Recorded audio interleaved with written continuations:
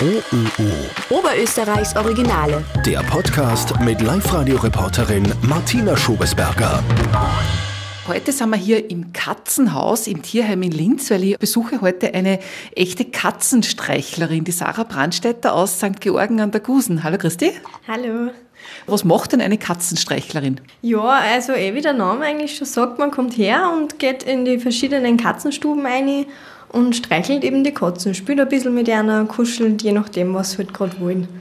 Warum ist denn das nötig?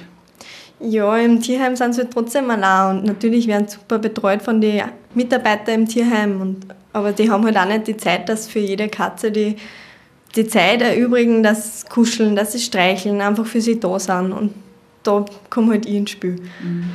Jetzt nehme ich mal an, sind die ja nicht alle so richtige Schmusekatzen, zu denen du da zum Streicheln kommst, oder?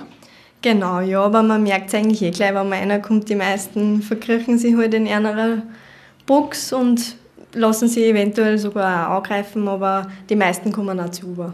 Ah doch, und ist dir das noch nie passiert, dass einmal eine so richtig hagelt und, und faucht und auszuckt? Nein, also man merkt es eh vorher, wenn eine Katze jetzt nicht angegriffen werden will. Ich meine, das sollte man halt schon ein bisschen kennen. Genau. Wie gehst du das an, wenn du da hereinkommst? Was hast du da für eine Strategie?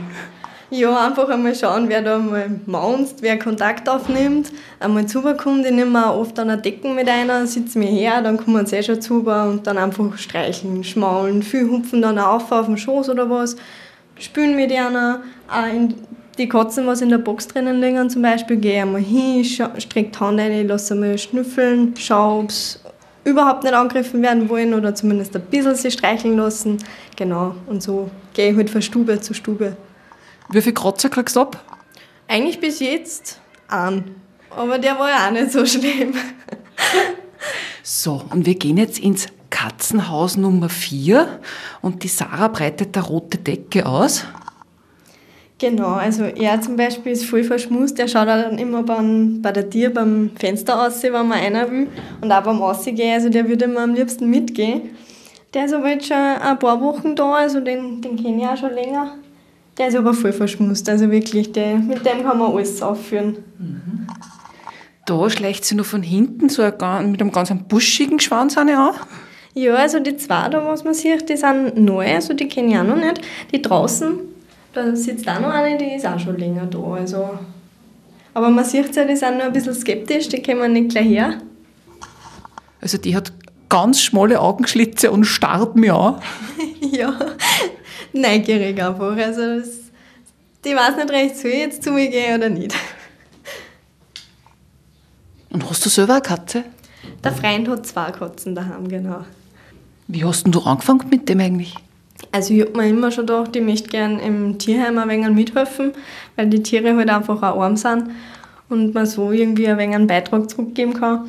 Und ja, ich habe dann einfach eine E-Mail hergeschickt und habe gefragt, ob ich irgendwie helfen kann, ganz egal was.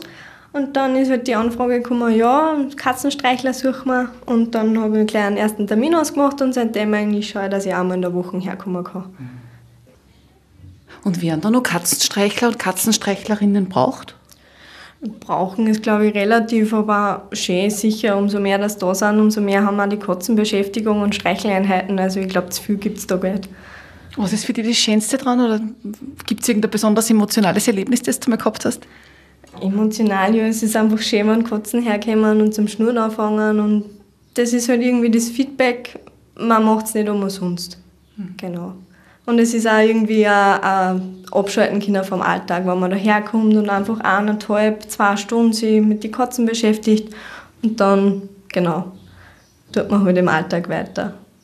Und hast du da schon richtige Lieblinge? Ja, also eh den da, den man da sieht.